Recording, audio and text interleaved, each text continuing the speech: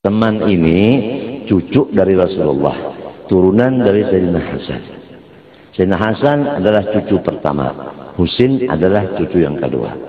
Hasan menurunkan Syekh Saman dan Husin menurunkan Datuk Kalangkaya.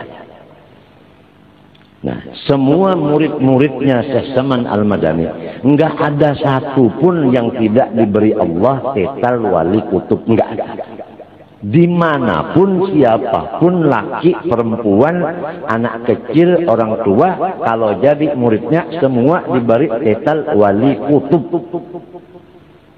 Gak ada yang gak wali kutub. Begitu. Di antara keistimewaannya Syekh Madani